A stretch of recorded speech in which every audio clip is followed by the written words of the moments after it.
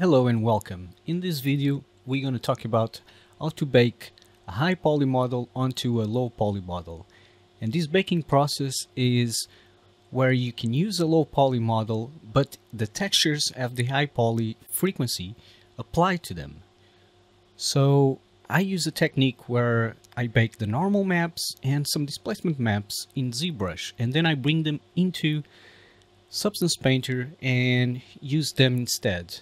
Now you can uh, just bake everything in Substance Painter, but if you if you want to do a normal map in Substance Painter with from a very high density mesh, it's going to be a bit hard. Substance Painter can't handle too many polys.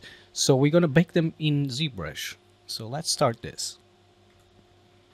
So here in ZBrush I have a I just have a sphere 3D. I just pressed sphere 3D. I got a sphere 3D right here. I'm gonna make polymesh 3D. And now one thing you need before you bring anything into Substance Painter is a UV map.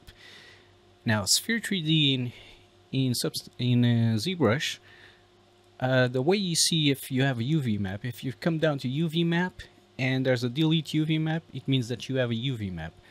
But in I tried this in ZBrush, it uh, gives you a little bit of a problem.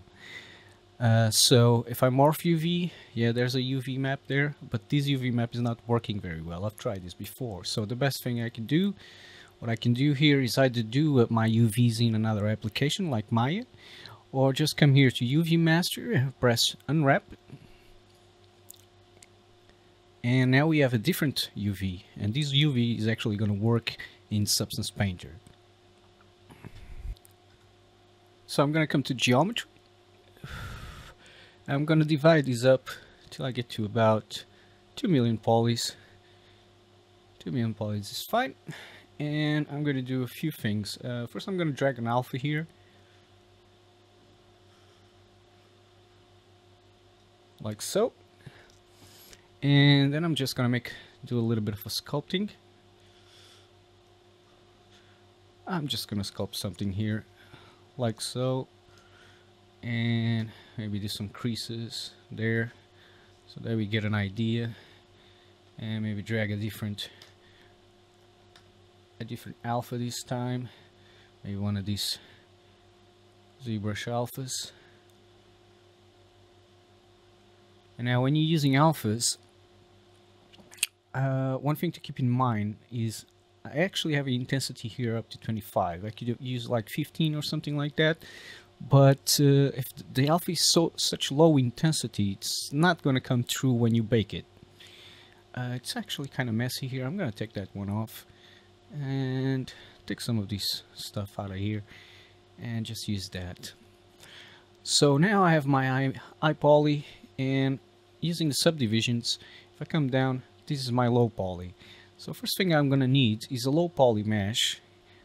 So I'm gonna come to Z plugin and I'm gonna come to FBX import export and you can copy this uh, configuration right here what's selected and what's not.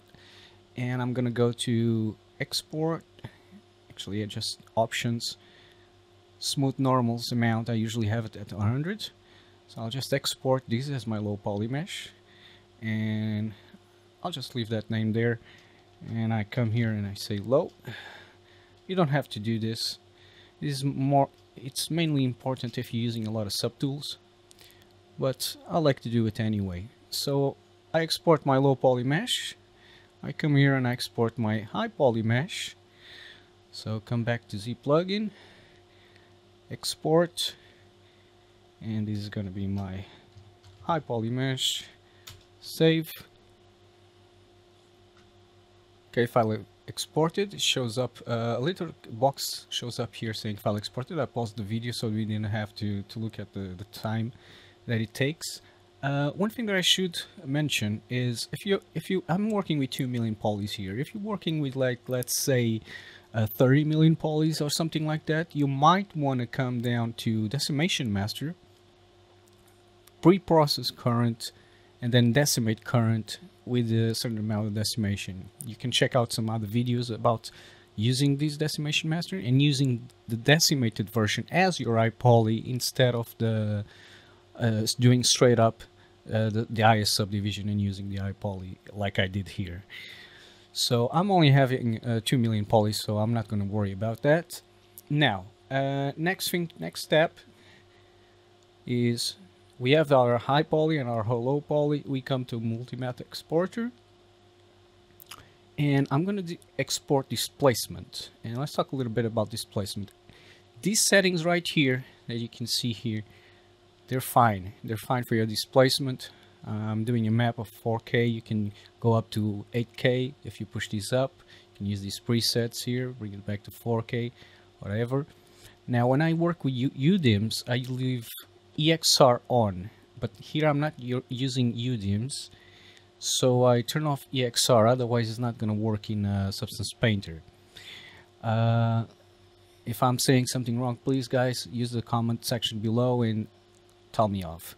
Now, I'm also going to export my normals and in displacement map and also in normal, you have the subdivision level this is just saying um, what subdivision division level you want to use as your low poly. So uh, I used subdivision level when I exported my low poly, uh, subdivision level 1, so I'm going to use level 1. If I use 2, I could come here and set level 2. If this doesn't match up, it's not going to work. So for my normal map, I got tangent, smooth UV, smooth normals, and I'm flipping G because I'm going to work with DirectX. Uh, I believe that if you use um, OpenGL, you don't have to flip the G. But I'm using DirectX in Substance Painter uh, because it's for Unreal. And I have that. So flip V on, map border 16. You can copy the settings if you like. Now one important thing is uh, here in file names, if you come to file names, uh, I got uh, UV tile needs to be off unless you're working with UVs. If you're working with UVs, you just have to turn on UDIMs. I UVs. I mean, if you're working with UDIMs, you just have to place UDIMs in there. So press OK there. Now displacement and normal. Create all maps. Save it to wherever you want to. It's gonna you use uh, suffix at the end so let's save. I'll pause the video for now. Okay all mobs created. And now we're ready to go into Substance Painter. So here in Substance Painter I'll come to file new. And I'm not working with UDIMs so I want I'll leave that off. So I'll select my low poly mesh press open. I like to work with 4k but you can do 2k whatever. Uh, you'll have more definition the the higher you go so I'll just add my maps my displacement map and my normal map. Press open say okay let's discard what I had there before. So this is my low poly. Now if I apply my normal map I get this. And the reason why I have a displacement map is because uh, it gives you a little bit more detail and the way you use displacement maps in Substance, uh, this is Substance 2018, so it doesn't support displacement maps. Maybe a later version will. The way I do this is I add a fill layer. Let me just delete these layers, not there anymore. A fill layer. Let's call it displacement map. And right click on it. Add a bitmap mask. Now just add something here. So I come back. I come back to select this fill and I'll grab my displacement map place it in there. I am in project so what I imported comes into project. So I imported in there. Uh, just I don't need any of this. I'm just gonna use the height channel. So I'll give it a little bit of height there. The reason I don't see that yet is because I need to add something else here. So I'll, what I'll add is uh, levels. So in my levels I'll press auto I got levels up in there. Now I come back here and I can see my height using my displacement map right there. So if you want to get need if you need more um, control let's say this is not enough control for you you can come here select your height blending mode and then you can come here and you have a bit more control over here so you can see the difference. Tiny difference but it makes a, it makes a difference in the end. And that's how I do it. That's how I use uh, displacement maps and uh, do the normal uh, map. Now the rest of the maps you can bake them right here in Substance Painter. And the reason I like I said before I didn't use the normal I didn't bake the normal map because Substance Painter doesn't handle can't handle uh, really high poly meshes. So I can just come here and maybe say 4k I like the dilation to be at around 16 and I'll select here my high poly mesh that we exported high poly open. And I like to have my max frontal distance to about 004 and the same thing for the rear distance. And I come down here and sub subsampling uh, 8 by 8 I usually the highest you go the better quality you'll have of your bake I'm not using ID maps so I'm just gonna take that off thickness is not usually used uh, like I said normal we already have it and I'll press bake and pause the video. Alright, now, now that the baking process is done, we have all the maps that we need to start texturing. So we baked space normal or ambient occlusion, curvature, etc. Now I run into a problem. My computer ran out of memory because I was using, if I press bake mesh maps again, my subsampling was at 8 by 8 so my computer ran out of memory if you run into any problems like that you can just go and do a 4 by 4 or even 2 by 2 if 4 by 4 doesn't work so to recap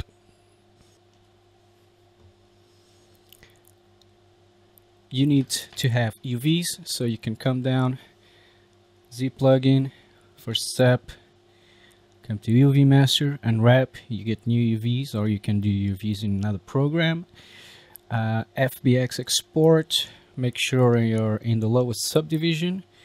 Go to Z plugin FBX export export your low poly mesh bring your subdivisions all the way up to the top Z plugin export your high poly mesh go into multi-map exporter select your displacement and your normal and you can, you can use these settings here. So settings for displacement EXR if you're using um, UDIMs no EXR if you're not using UDIMs here's your normal map configuration.